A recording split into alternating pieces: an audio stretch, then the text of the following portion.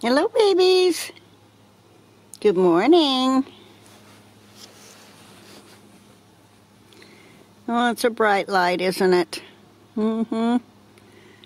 But your mama's got you stuck back here underneath the dark bed, and I have to have a good light to be able to see if you're doing okay. I think you are.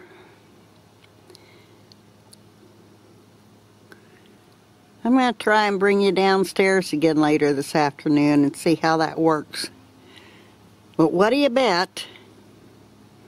Mama brings you right back up here. And that's okay. As long as you're doing all right, we'll be fine. Yeah. I bet you just ate, didn't you? You got a big belly?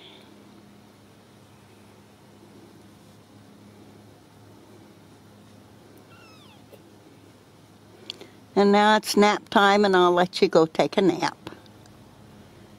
You're so cute.